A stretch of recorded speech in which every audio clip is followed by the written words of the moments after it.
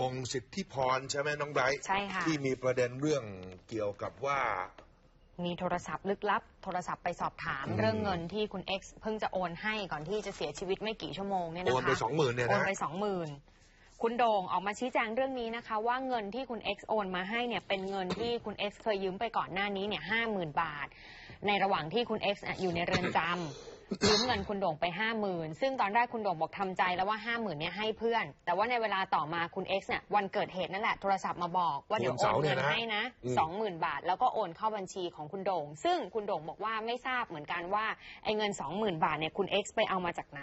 อืมค่ะ ฟังเสียงดูนะฮะ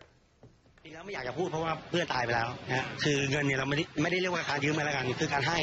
เราให้เพื่อนใหม่ใช่ไหมฮะครับ แต่เพื่อนมีใจจะคืนเรามา ก็คือมา แต่มันดันกลายเป็นการโอนเงินครั้งสุดท้ายครั้งสุดท้ายก่อน ใช่ก่อนจะเสียชีวิตแล้วเอ่อผมเนี่ยต้องถูกโทรศัพท์มาตรวจสอบโอนเพื่อโอนค่าอะไร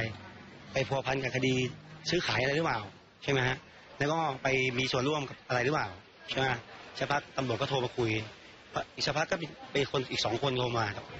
ถ้าทางเหมือนไม่ไม่ไม่ไม่ใช่ตำรวจ เหมือนกับเอ้ยโอนเงินคืนมานะเดี๋ยวจะได้จบจบไปอะไรผมก็งงไม่อะไรวะอีกสองสายที่โทรมาเนี่ยผมผมไม่รู้ว่ายังไงก็ให้ฟังข่าวแล้วกันแล้วก็ดูสื่อเอานะฮะผมมีหลักฐานเพราะว่า ไอ้ตรงนั้นให้เพื่อนไม่ได้ไม่ได้ไม่ได้ไม่ได้เกี่ยวกับของพวกคุณหมายว่าผมมีส่วนแบ่งอะไรหรือเปล่าโอนมาก่อนงวดแรกงวดต่อไปนะคือขยันขยอยอย่างเงี้ยผมก็พี่พี่บ้าว่ะ ก็บอกคิพี่ดผมว่าคิดว่าไม่น่าใช่ตำรวจใช่ไหมไม่น่าใช่พี่คือแล้วคุณรู้จำนวนเงินได้ไงวะผมเขามีผมมีทนายเอ็กซ์รู้เท่านั้นเองครับฮะใช่ในเรื่องนี้ก็ไม่ได้เคยบอกใครใช่ไหมแล้วก็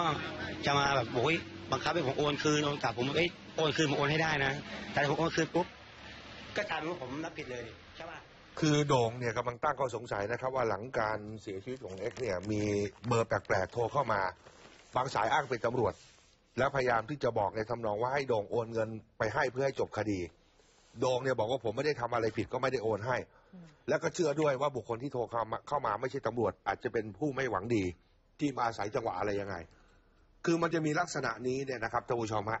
แม้กระทั่งนักข่าวของเราก็มีเบอร์แปลกๆโทรเข้ามาแต่ไม่ได้เป็นกรณีเรื่องโอนเงินอะไรยังไงนะฮะก็ลักษณะโทรเข้ามาถามเรื่องเอ็กติดต่อมายังไงล่าสุดอะไรยังไงเนี่ยนะฮะ ซึ่งถ้าเป็นตำรวจเนี่ยอย่างที่บอกนะครับ ว่าให้ความร่วมมืออยู่แล้วไม่ใช่ผมนะฮะหมายถึงนักข่าวที่ทำข่าวนี้